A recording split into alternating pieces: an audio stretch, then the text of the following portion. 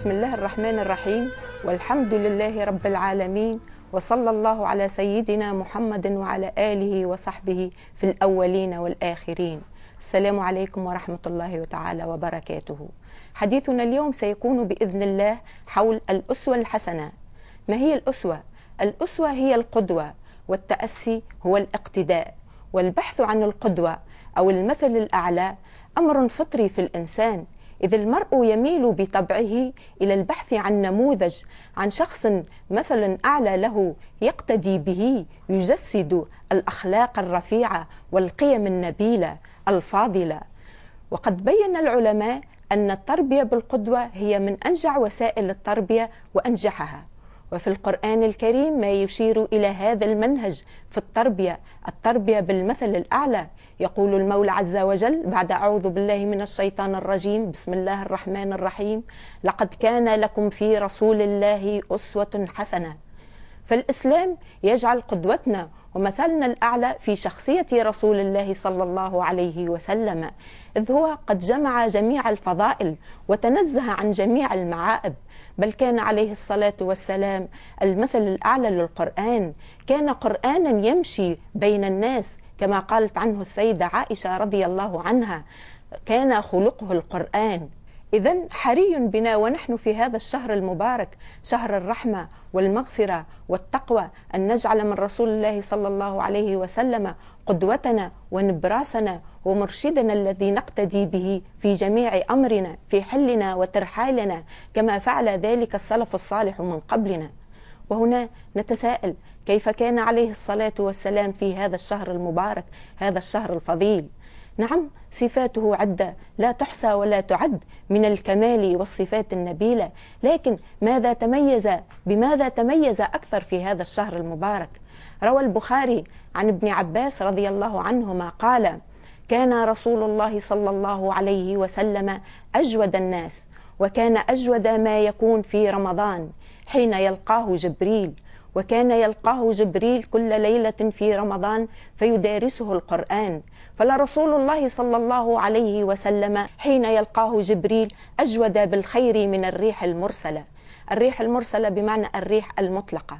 إذا ففي هذا الحديث نجد ربط بين رمضان شهر رمضان العظيم والقرآن الكريم والجود. إذا هناك أمران تميز بهما عليه الصلاة والسلام وهو الإكثار من قراءة القرآن والإكثار من الجود والكرم أي الإكثار من الصدقات.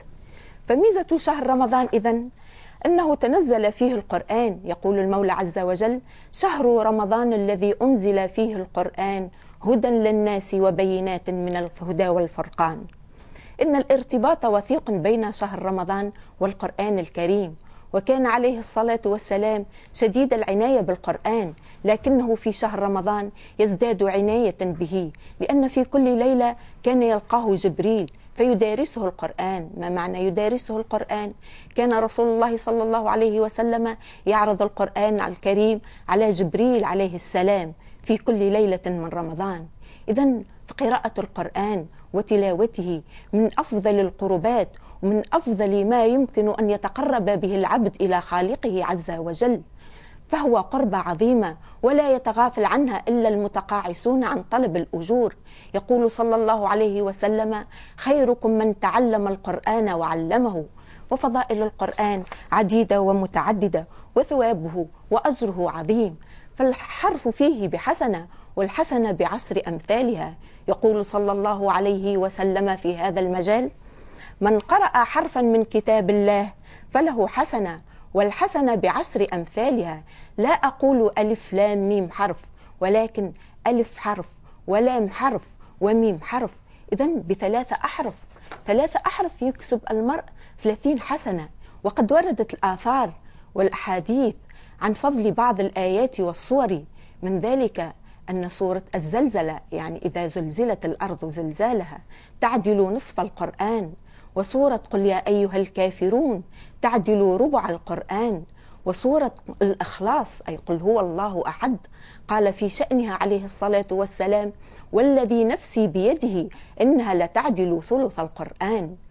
وسورة الفاتحة هي من أعظم سور القرآن العظيم. في هذا المجال أريد أن أشير إلى بعض إخواننا وأخواتنا اللي ما يحملوا معاهم كان بعض قصار الصور. قولوا لهم لا تتغافلوا ولا تتهاونوا في قراءة القرآن وكرروه آناء الليل وأطراف النهار. بمعنى آخر ما تقولوش خسارة أنا ما نحفظش برشا قرآن وخسارة اللي يحفظ القرآن. أو أخواتنا وأخواتنا الأميات يقولوا ما نجمش نقرأ القرآن لأني ما نحفظش وما نعرفش نحل المصحف باش نقرأ. لا أي سورة أنت حاملتها أقري بيها وكريها وخليها تسبيحك الدائم في أثناء نهارك في خدمتك. وأنت حتى تقضي في قضيتك في المنزل نقول أخواتنا وأنتم تقضيوا في المنزل ما تقولوش ما عندناش وقت. لقراءة القرآن ولا أخواننا اللي يخدموا يقولوا ما عندناش وقت. وانت تنتظر في الحافلة. ما عندك حتى شيء ما تعمل. اقرأ ما تحمل من القرآن. اقرأ بقصار الصور. المهم أن تقرأ القرآن وتعيد ترتيله في هذا الشهر المبارك تأسيا برسول الله صلى الله عليه وسلم. أما الأمر الثاني اللي تميز به عليه الصلاة والسلام كما ذكرنا في الحديث فلرسول الله صلى الله عليه وسلم حين يلقاه جبريل أجود بالخير من الريح المرسلة.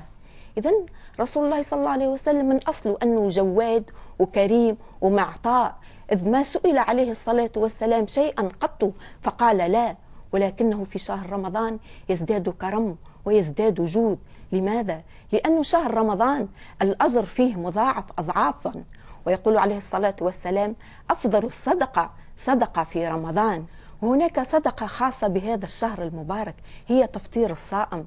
يقول عليه الصلاة والسلام من فطر صائما فله أجره دون أن ينقص ذلك من أجر الصائم شيء. وتفطير الصائم يكون بأبسط شيء يعني حتى وإن كان بتمرة فلك ثواب أجر ثواب تفطير الصائم بإذن الله عز وجل.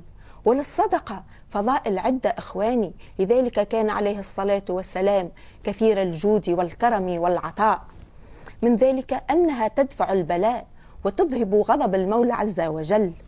قال صلى الله عليه وسلم إن الصدقة تطفئ غضب الرب وتدفع ميتة السوء. ثم شيء آخر تمحو الذنوب والخطايا. الصدقة أيضا تنجي من عذاب النار. كما ذكرنا مهما كانت هذه الصدقة بسيطة. يقول عليه الصلاة والسلام اتقوا النار ولو بشق تمرة. فبشق تمرة تتسمى أنت تصدقت لأنك ما تقدر كان على هذاك. أنت تقدر على أنت تعطي تمرة لذلك أنت أعطيت أفضل ما عندك وأقصى ما يمكن أنك تملكه. شيء آخر آداب الصدقة. لما كان للصدقة هذا الفضل لها آداب.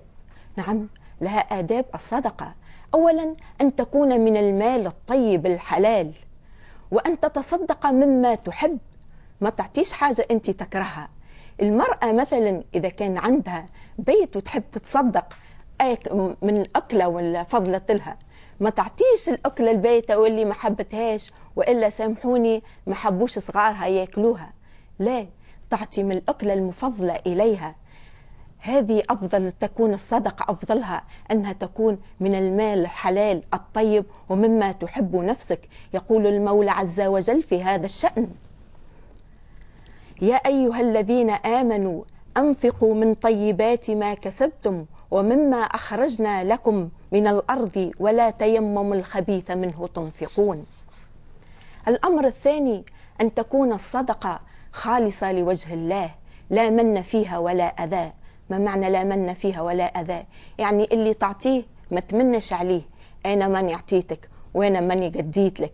وإلا ما تأذيهوش. يعني تستعمله باش يولي يخدمك في خدمة لأنك أنت تصدقت عليه. لا. يقول المولى عز وجل يا أيها الذين آمنوا لا تبطلوا صدقاتكم بالمن والأذى. صدق الله مولانا العظيم. الأمر الثاني إن الأصل في الصدقة أن تكون سرا. كيف سر؟ يعني أنت كيف تعطي ما تقولش أنا أعطيت لا أعطيها سر. يقول المولى عز وجل أيضا في هذا الشأن إن تبدوا الصدقات فنعم هي وإن تخفوها وتؤتوها الفقراء فهو خير لكم. ثم أن الرسول صلى الله عليه وسلم مدح صدقة السر وقال في شأنها أنه سبعة يظل في الحديث الشريف سبعة يظلهم الله في ظله يوم لا ظل إلا ظله. يعني فما سبعة أشخاص يظلهم الله يوم القيامة. من بين سبع أشخاص ذكر رسول الله صلى الله عليه وسلم رجل تصدق بصدقة فأخفاها حتى لا تعلم شماله ما تنفق يمينه.